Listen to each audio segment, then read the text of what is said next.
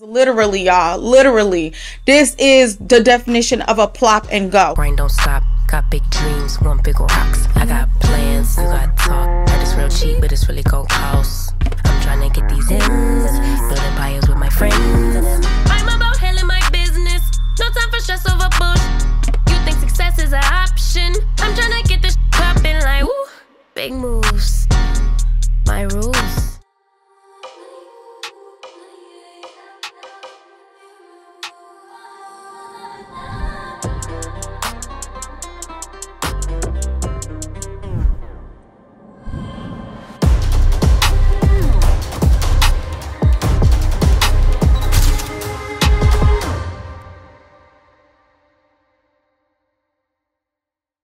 What's up, y'all? What is going on? It's your girl, Carrie M. If you are new to the channel, what's up? Make sure you click on that red subscribe button, hook me up. And if you haven't done so, turn on the notification bell so you can be notified anytime I upload a video. Now, if you enjoyed this video, definitely give me a thumbs up. And ladies, help your sister out with the engagement and comment something below. Let me know if you are feeling this unit or if you ain't. It's all good, but talk to me down in the comments for me. Engage with me. Let's get this video popping, okay? So today's sponsor is Beauty Forever hair. So we're going to talk about this beautiful unit that I have flipped over right now. First of all, this unit is super duper easy, definitely beginner friendly, but definitely an ideal unit for anyone who needs their hair done immediately every morning. You don't want to sleep in your wig necessarily, but you don't want to put in too much work before starting your day. This is the type of unit for you. It's completely done for you. The lace is cut, the knots are tinted, the wig is plucked like literally throw the wig on and go. Now, you know I'm a little bit extra but I try not to do too much in this video because I wanted to keep the unit simple because that is the purpose of this unit, y'all.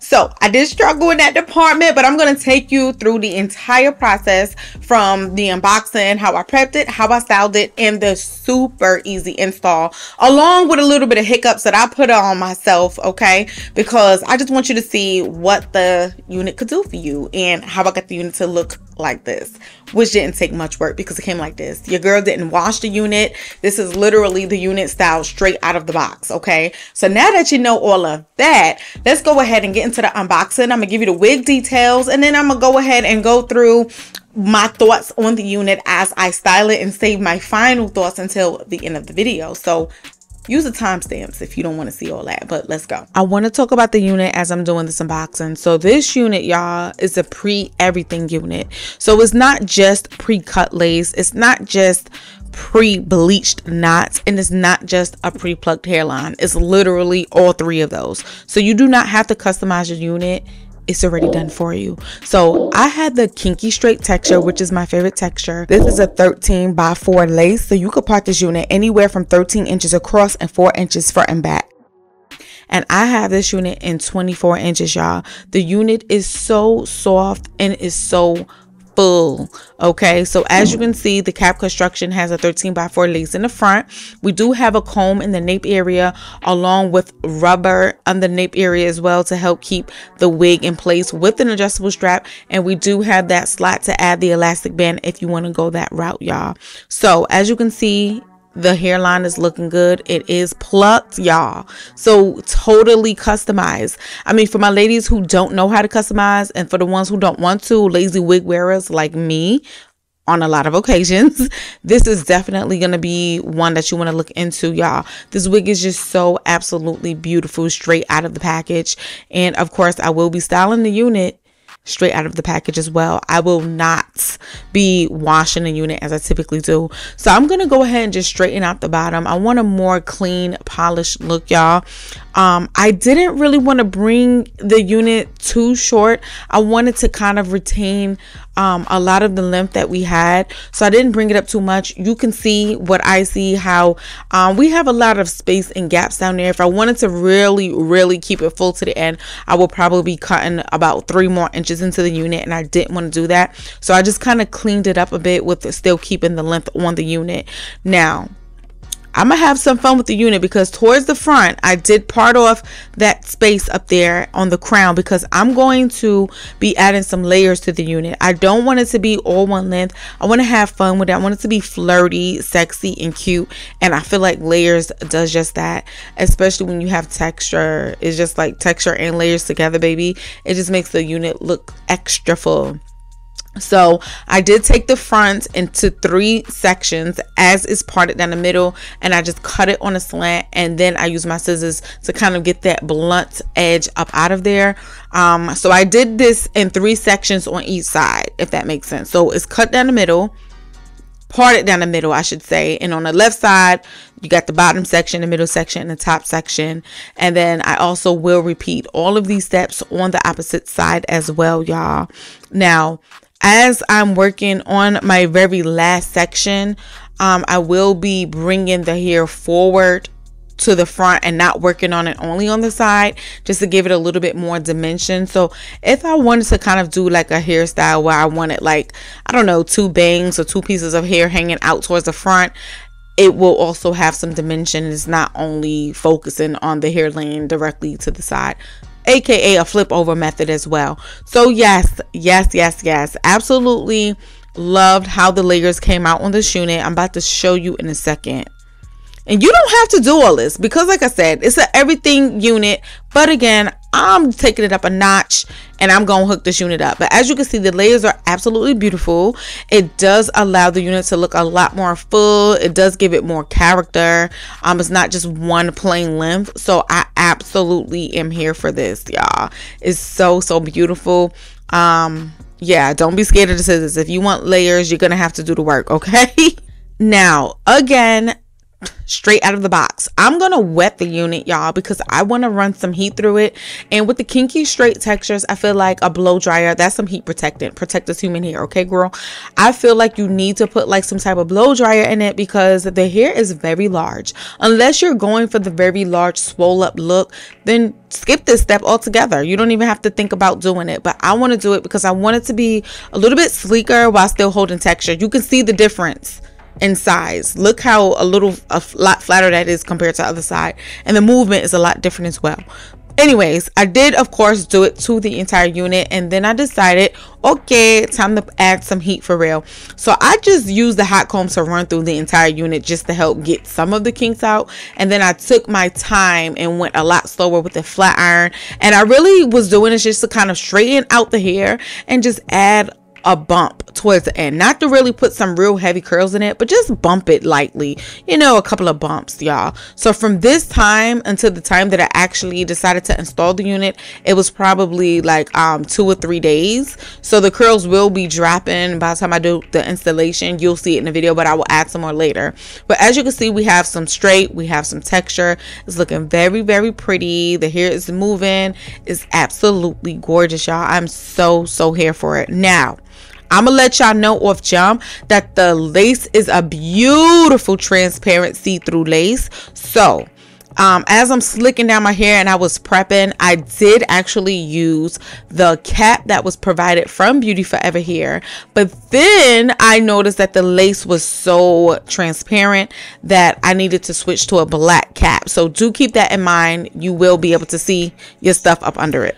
Alright, so boom. Shorty fit kind of nice though. It fits pretty, pretty good. Like literally is matching to a T on my hairline.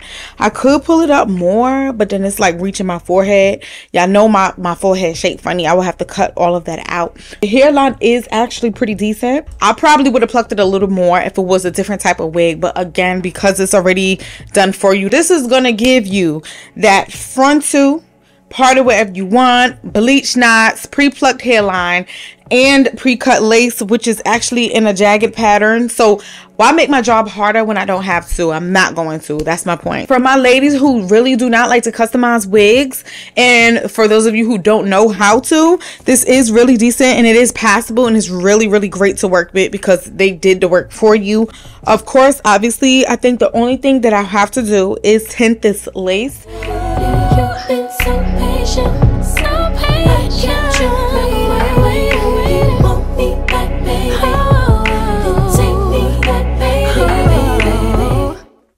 Alright, so I ain't never used none of this little peeling stick. I don't even know if it's safe to go on your edges because this hairline is definitely on my edges.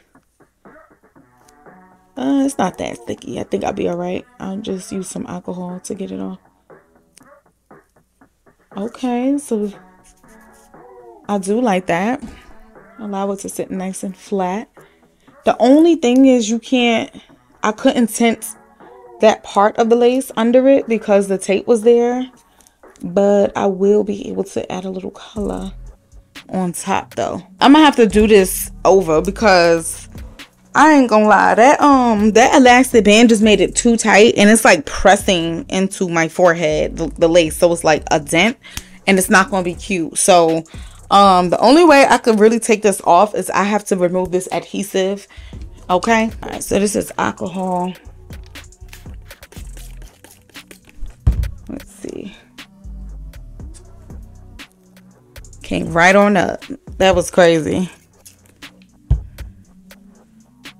right on up easy breezy okay all right. So this actually looks good. I like how it's covering my hairline. I know i said that i really wasn't going to do too much customization because the wig came ready but this is intruding too much um forward and i don't like that. So i'm just gonna i'm just gonna cut it in the backwards position just a bit because i need it to not be like on my forehead the way it's sitting on my forehead. I ain't even got that much forehead. I gotta make it look as best as I can. Okay, so that looks good. So, um, let me go ahead and start styling this unit. All right, so I'm gonna add some powder to my part using the same palette that I used to tint the parting space with. I love adding creams first because it just makes the parting space pop. And I use a lighter color for my parting space. In my opinion, parting space is in real life is lighter than your skin. Your skin gets all the sun exposure. It's tinted. It's a little bit darker than your part. So I, I like it to look realistic. So that's what I'm gonna do. I use a light colored powder to go ahead and do that. Just so the cream doesn't really smudge. Makeup in the wig, I treat it the same way I treat makeup on the face. I say it every time. Because somebody asked me, why did you use um, um, the cream and the powder? This is why. I don't want it to move. I like to set it. Now, that parting space doesn't look that great, but I'm to clean it up, okay? Don't worry about it. So, I'm to use this. This spoolie has a crap load of makeup on it from my eyebrows. So, it's a little darker because this is what I use for my brows. And I'm just to use that to clean up the pieces that were a little bit over bleached and the pieces that I got too much makeup on. And just kind of brushing into it. Blends it so it's not as like blunt. So I'm just like brushing it in so it can look real. Actually, it's running out of makeup. Let me add a little bit of the pencil directly.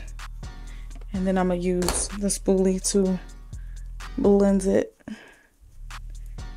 So it looks, has more like of a actual parting space effect. Yeah, so that looks good. That looks better. I want to do baby hair. I don't think so. I'm going to do a little something right there on the side. And because this lace is right there, you're going to see that. So what I'm going to do is I'm going to take a little teeny slither bit out from the wig just so it blends into my hair because it just looks like lace sitting on top of my hair. We don't want that. So I'm going to just take that little small, very skinny slither and just blend it into it. Yeah, keep it keep it simple.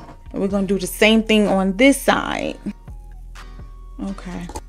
And honestly, y'all, I'm gonna use some of this edge, this slick and slay from Esha, and I'm gonna use it to slick back the hair too. Usually I do just do like mousse or something, but y'all know when the mousse start getting soft, the hair starts to do what it wants to do.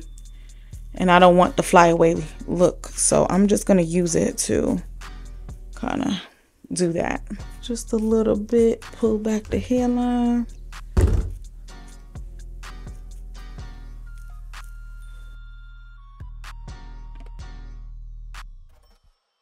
Genuinely took my time with this wig, but I really took more time than I needed to take on this wig. Like, I'm gonna shorten this up for y'all so y'all don't have to see like every little thing I did because it's like pointless. Um, but this probably took me like 20 minutes to get to this point of just like, okay, let me just lay it down or whatever.